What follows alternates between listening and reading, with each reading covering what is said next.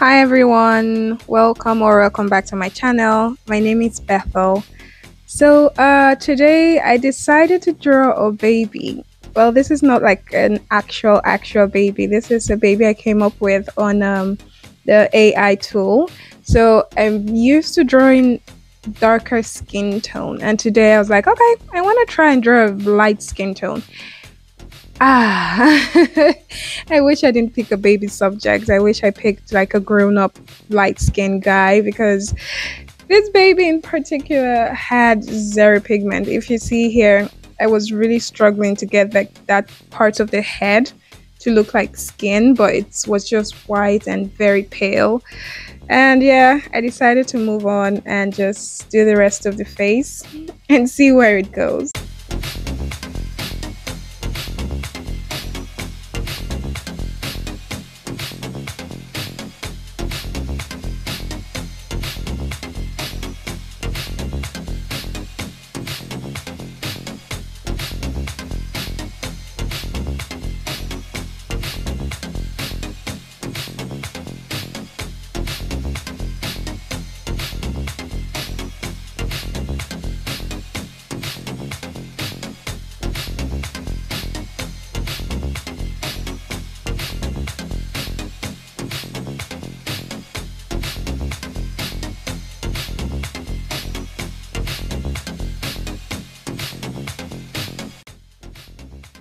Uh, usually I don't do like I don't cover the whole face and then go from there. I do it step by step. I like to go in like I do the forehead and come down to the eyes and stuff like that. But I wasn't getting the skin, so I'm like, okay, I would just focus on the skin before I go into the eyes or anything.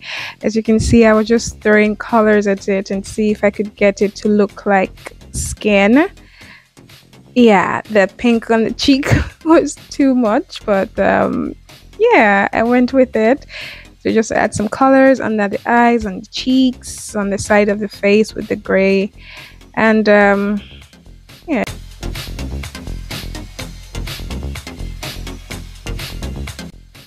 At this point, I was very frustrated with the skin, and I am so sorry, guys, but I went off camera to finish the skin.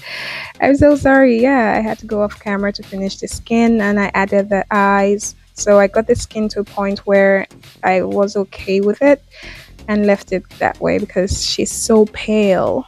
Yeah, so from here, I'm just going to go on with the rest of the drawing and enjoy.